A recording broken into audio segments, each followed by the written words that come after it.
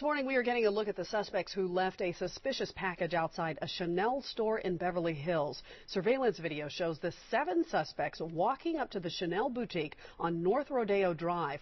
One suspect is seen setting the box down while another snaps a picture. Markings on the package led officers to believe that a bomb may have been inside. There were also anti Semitic comments on the package. The bomb squad was called in, but no explosives were found. If you have any information on the suspects, call the Beverly Hills Police Department tip line at 310 288 2656.